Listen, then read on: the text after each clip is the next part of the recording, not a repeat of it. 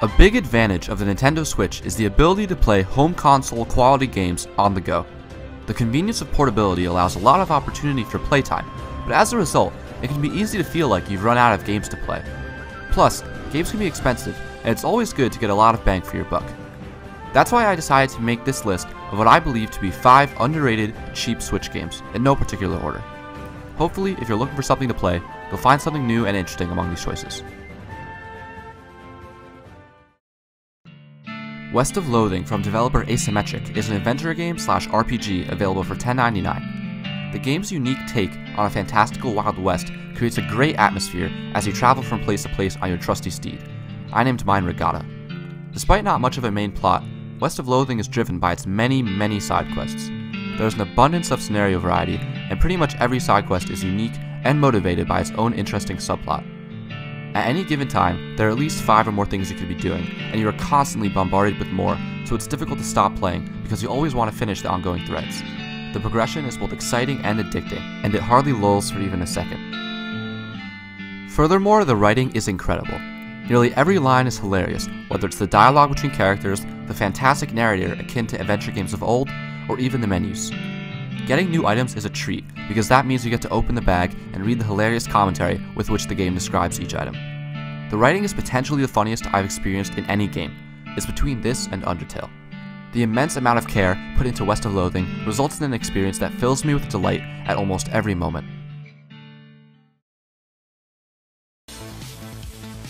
Astrobear's Party from Cubic Games is a multiplayer game for 2 to 4 players.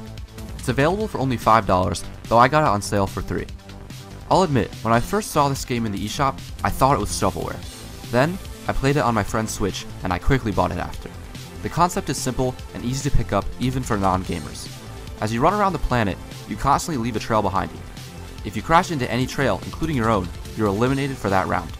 You can also jump and hover in the air for a limited amount of time. In addition, you can press another button to briefly speed up.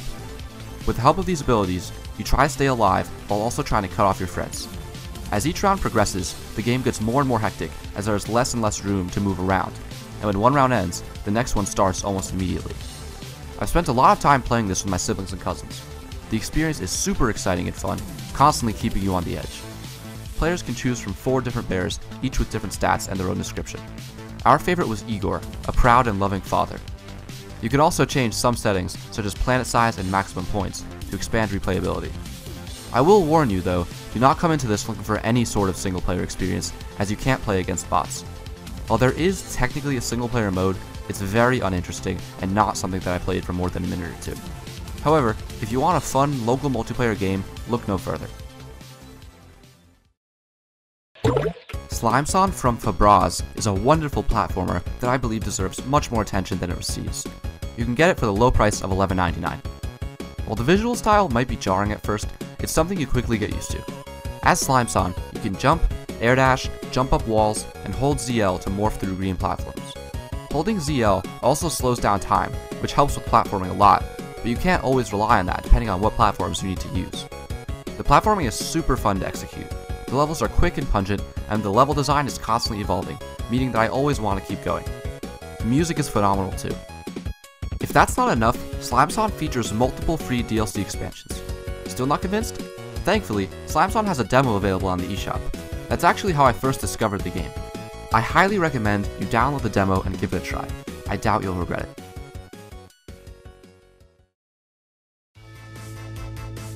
Dark Witch music episode Rudymical is a strangely titled rhythm game from Inside System and Discwarda, available for $7.99. Rudymical features the music from the Legend of Dark Witch series, but I've never played those games, so it's definitely something you can enjoy without doing so, and the music is definitely good. The game has you compete against different bosses, all of whom attack using various projectiles. Each color of projectile is marked to a different face button, and you have to press the correct buttons at the right times to succeed. My main issue with Rudymical is that for every input by the player, the player character makes a scream-like noise that does not mix well with the music. Optimally, in a rhythm game, your input should enhance the music, allowing for true engagement. Given this is not the case, the game is not as good as it otherwise could be. Despite this, Rudymical kept me happy and having fun through the entire extent of my albeit short playtime. This game has a demo as well, so I definitely recommend you check that out and see if you enjoy. Golf Story from Sidebar Games is the most expensive game on this list, sitting at $14.99, but that's still pretty cheap compared to video games in general.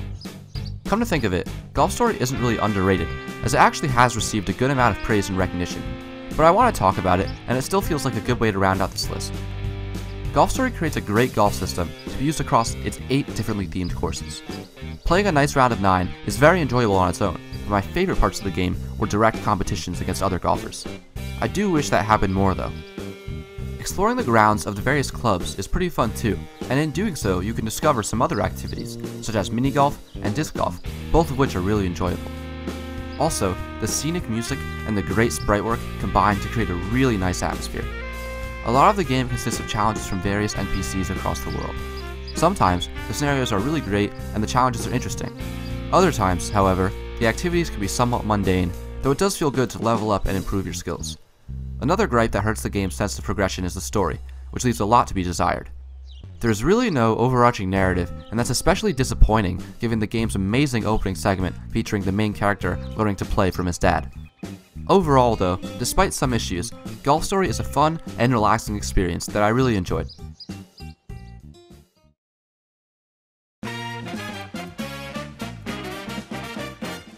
And there you have it. Those are 5, in my opinion, underrated, cheap games available for Nintendo Switch. Let me know if you've played any of these games and what you think of them, or if you plan on getting any of them after watching this. Also, let me know about the hidden gems you've played for Nintendo Switch. I'm always looking to expand my library, despite the wishes of my wallet, and I'm also interested to know what you've been playing. Finally, let me know how you like this video.